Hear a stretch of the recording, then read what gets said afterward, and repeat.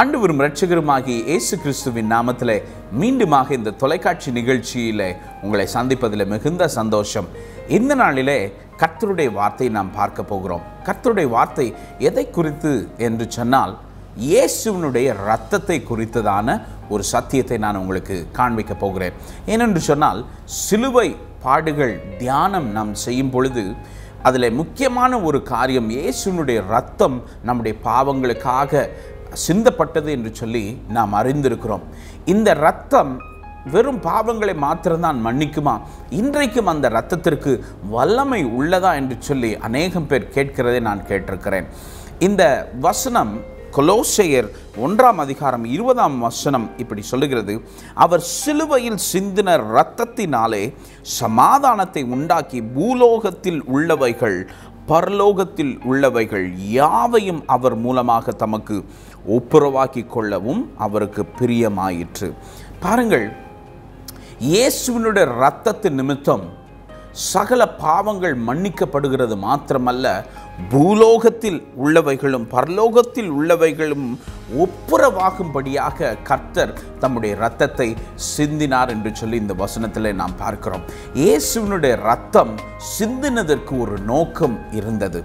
என்னவென்று சொன்னால் ஆதியிலே நாம் இழந்து போன அந்த பெரிய ஆசீர்வாதத்தை ஆதாம் ஏவால் செய்த பாவத்தின் நிமித்தம் இழந்து போன ஆசீர்வாதத்தை மீண்டும் நம்மளோடு சேர்ந்து ஆங்கிலத்தில் ஒரு வார்த்தை உண்டு ரெஸ்டோரேஷன் என்று சொல்லி.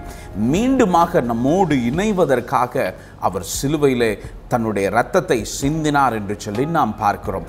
அந்த சிலுவையின் ரத்தம் ரெண்டாயிரம் வருஷம் ரெண்டாயிரத்தி பத்தொம்போது வருஷங்களுக்கு முன்பாக சிந்தின அந்த ரத்தத்திற்கு இன்றைக்கு வல்லமை உண்டா என்று சொல்லி நீங்கள் கேட்கிறீர்கள். பாருங்கள் ஒரு ஒரு காரியத்தை குறித்து நான் உங்களுக்கு சொல்லுகிறேன். அந்த இரத்தத்தின் வல்லமை எப்படிப்பட்டது என்று சொன்னால் இரத்தத்தின் மகிமை அது ஒரு உடன்படிக்கையை போன்று. உடன்படிக்கை என்று சொன்னால் உங்களோடு கூட ஒருவர் உடன்படிக்கை செய்வார் என்று சொன்னால் அது ஒரு வருடம் ரெண்டு வருடம் அல்ல கால காலத்திற்கும் அந்த உடன்படிக்கைக்கு வல்லமை உண்டு. சாதாரணமாக எழுதுகிற உடன்படிக்கைக்கே அவ்வளவு வல்லமை இருக்கும் என்று சொன்னால் இயேசுனுடைய ரத்தத்திற்கு எவ்வளவு பெரிய உடன்படிக்கை வல்லமை இருக்கிறது என்று சொல்லி நாம் அறிந்திருக்கிறோம். பாருங்கள் கனடா தேசத்தில் நீங்கள் பார்ப்பீர்கள் என்று சொன்னால் உடன்படிக்கையிலே காணப்படுகிற ஒரு பெரிய மகிமையான காரியத்தை உங்களுக்கு காண்பிக்க விரும்புகிறேன். கனடா தேசத்தில் காணப்படுகிற அந்த தேசம் ஆதிவாசிகளால் ஆரம்ப காலங்களிலே உருவாக்கப்பட்ட தேசம் தான் இந்த கனடா தேசம். அந்த நேரத்தில் ஐரோப்பியர்கள் அங்கே குடிபெயர்ந்து அந்த தேசத்தை ஆளுகை செய்ய வேண்டும் என்று சொல்லி அங்கே சென்றிருந்தார்கள். அதனாலே ஐரோப்பியர்களுக்கும் இங்கே கனடா ஆதிவாசிகளுக்கு மத்தியிலே பெரிய போராட்டம் நிகழ்ந்து கொண்டே இருந்தது.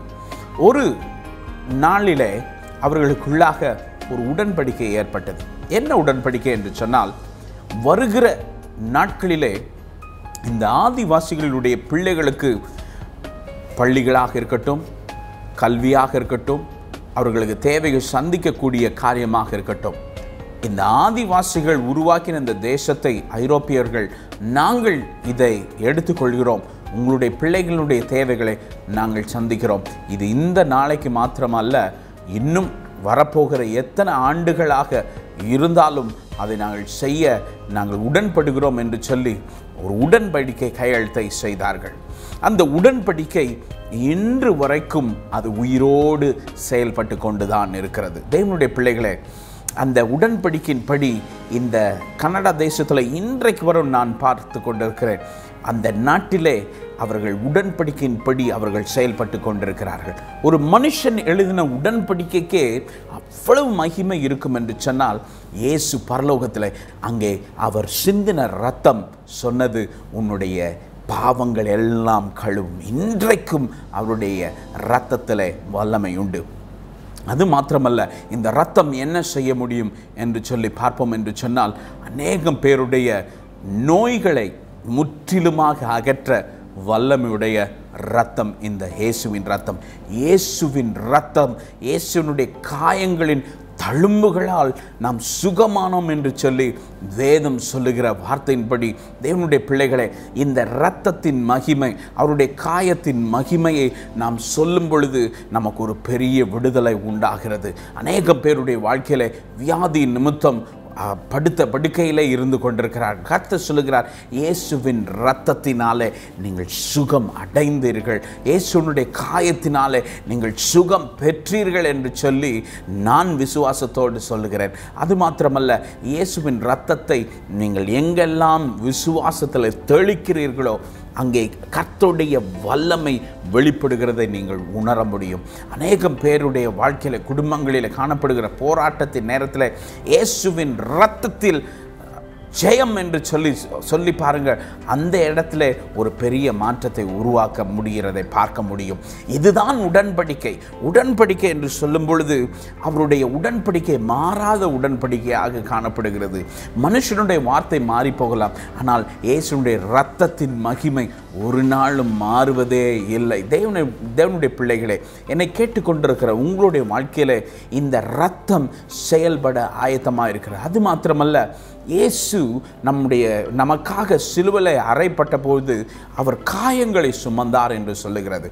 அந்த காயங்கள் எதை காட்டுகிறது என்று சொன்னால் நம்முடைய பாடுகளை எல்லாம் அவரே சுமந்து தீர்த்து விட்டார் என்று சொல்லி நீங்களும் நானும் இனிமேல் சுமக்க தேவை இல்லை அநேக பாவங்களை நாம் சுமந்து கொண்டே இருக்கிறோம். சபையில் இருக்கும் பொழுது மிகுந்த சந்தோஷமாக இருக்கிறோம். சபையில் வார்த்தைகளை கேட்கும்போது சந்தோஷமாக இருக்கிறோம். ஆனால் வீடுகளுக்கு செல்லும் பொழுது உண்மையான பிரச்சனைகளை பார்க்கும் பொழுது நாம் சோர்ந்து போய் விடுகிறோம் அந்த சோர்வான நேரத்தில் கர்த்தர் சொல்லுகிறார் இயேசுவின் ரத்தம் உங்களை சுகமாக்க வல்லது. இயேசுவின் ரத்தம் சமாதானம் கொடுக்க வல்லமை உள்ளது. அவர் சிலுவையில் சிந்தின இரத்தத்தினாலே சமாதானத்தை உண்டாக்கினார் என்று சொல்லி இந்த குளோசியர் பகுதியில் நம்ம வாசிக்கிறோம். நாம் அ, பவுலடியார் எழுதின பகுதியில் நாம் வாசிப்போம் என்று சொன்னால் இயேசுவின் இரத்தத்தின் இயேசுவின் ரத்தம் இயேசுவின் ரத்தம் என்று சொல்லி அவர் இயேசுவின் ரத்தத்தை மகிமைப்படுத்தி பேசுகிறதை நாம் பார்க்க முடியும். தேவனுடைய பிள்ளைகளை என்னை கேட்டுக்கொண்டிருக்கிற உங்களுடைய வாழ்க்கையில் இயேசுவின் ரத்தம் என்ன செய்ய வேண்டும் என்று சொல்லி எதிர்பார்க்கிறீர்கள்? வியாபாரத்தில் ஒரு பெரிய எழுச்சி வேணும் என்று சொல்லி விசுவாசிக்கிறீர்கள்? இயேசுவின் ரத்தத்தை தெளித்து பாருங்கள். உங்களுடைய குடும்பத்தில் வீணான பிசாசின் போராட்டங்கள் இருக்கிறதா? இயேசுவின் ரத்தம் என்று சொல்லி சொல்லி தண்ணீரை தெளித்து பாருங்கள். அங்கே ஒரு வல்லமை நீங்கள் பார்க்க முடியும். இது ஏதோ சடங்காச்சாரத்திற்காக அல்ல. ஏதோ ஒரு சடங்காச்சாரத்திற்காக செய்கிற காரியம் அல்ல. இயேசுவின் ரத்தத்தை தெளிக்கும் பொழுது அங்கே ஒரு பெரிய விடுதலை நாம் பார்க்க முடியும். போராட்டத்திலிருந்து ஒரு விடுதலை நாம் பார்க்க முடியும். இன் இனி வருகிற காலங்களிலே வருகிற போராட்டங்களை நாம் மேற்கொள்ள வேண்டும் என்று சொன்னால் இயேசுவின் ரத்தத்தை நாம் சொல்ல சொல்லதான் நம்முடைய வாழ்க்கையில் ஒரு பெரிய மாற்றம் உருவாகும். இதை கேட்டுக்கொண்டிருக்கிற நேரத்தில் அநேக பேருடைய வாழ்க்கையில் ஒரு மாற்றத்தை இயேசுவின் ரத்தம் கொண்டு வந்து கொண்டிருக்கிறது. இந்த உடன்படிக்கை உண்மை என்று சொன்னால் இந்த உடன்படிக்கை வல்லம் மிகுந்தது என்று சொன்னால் அவருடைய காயங்கள் நமக்காக பட்டார் என்று சொன்னால் காயங்களின் தழும்புகளை நான் சுகமானேன் என்று சொல்லி சொன்ன வார்த்தை உண்மை என்று சொன்னால் அது நிறைவேறும். ஹalleluya இந்த வசனத்தை வார்த்தைகளை கேட்கிற உங்களுடைய வாழ்க்கையில காயங்களின் தழும்புகளால் நீங்கள் சுகமானீர்கள். இனிமேல் பயத்திற்கோ வியாதிக்கோ போராட்டத்திற்கோ நீங்கள் அடிமை இல்லை. ஹாலலூயா இந்த நேரத்தில் கர்த்தர் ஒரு பெரிய விடுதலை தர வல்லவராக இருக்கிறார் வியாபாரத்தில் தோல்வியா குடும்ப வாழ்க்கையில தோல்வியா பிள்ளைகளை குறித்து வேதனைப்பட்டு கொண்டிருக்கிறீர்கள். இயேசுவின் ரத்தத்தினாலே ஜெபித்து பாருங்கள். இயேசுவின் காயத்தை சொல்லி சொல்லி சொல்லி அவர் வலது புறம் நமக்காக அடிபட்டார். இடது புறம் நமக்காக அடிபட்டார். வலது கால் இடது கால் என்று சொல்லி கடைசியாக அவருடைய தலையிலே தலையிலே ஒரு பெரிய முள்முடியை தாங்கினார்.